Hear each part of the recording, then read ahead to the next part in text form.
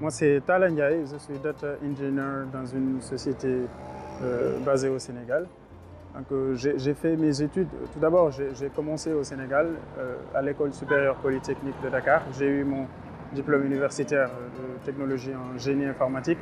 À la suite de cela, j'ai fait une licence en système informatique et logiciel à, à l'université Aix-Marseille 3 avant d'intégrer Supinfo International University euh, de Paris, où j'ai obtenu un MSc en informatique système d'information axé sur euh, la BI et le Big Data.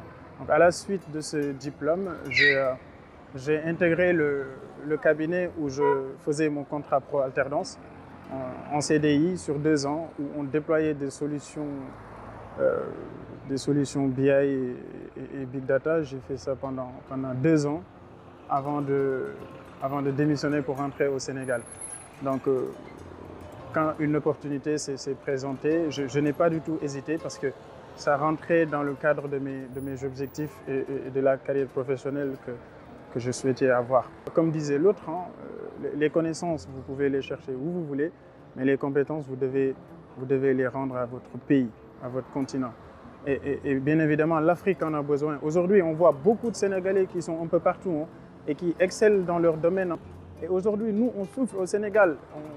beaucoup d'entreprises que nous rencontrons disent ne pas voir les compétences alors qu'elles sommeillent à l'étranger. Moi, depuis que je suis rentré en 2016 au Sénégal, je, je, ne regrette pas parce que je suis aux côtés de la famille et il y a de ces choses qu'on ne peut pas quantifier. Le salaire, il est bien, d'accord, tout le monde va se dire si je rentre, je gagne combien, mais il y a de ces choses qu'on ne peut pas quantifier. On peut mener une vie décente, dérouler ses, ses projets, une bonne carrière professionnelle tout en étant aux côtés des leurs, que sont sa famille, sa communauté, ses amis, et de manière transverse permettre au Sénégal d'évoluer aussi.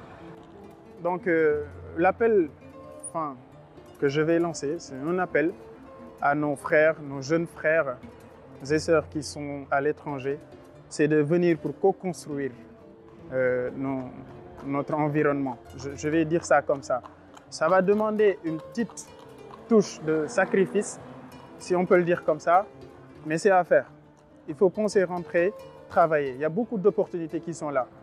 Donc venez nous rejoindre, hein, rentrez et puis euh, on, construira les choses ensemble. Donc euh, je vous invite à se rapprocher de nos, amis qui, font aussi un travail pour nous. Donc la caravane va commencer le, le 7 avril prochain à Paris donc, euh, invitez, parlez-en à vos amis, parlez-en à vos proches et évitez même les différentes communautés qui sont autour de vous et qui ne sont pas forcément des Sénégalais.